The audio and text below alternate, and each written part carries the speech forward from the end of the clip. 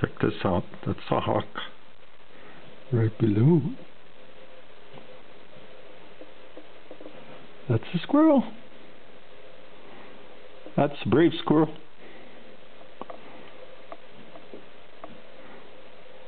Or a gentle hawk. He's looking. He's looking at it.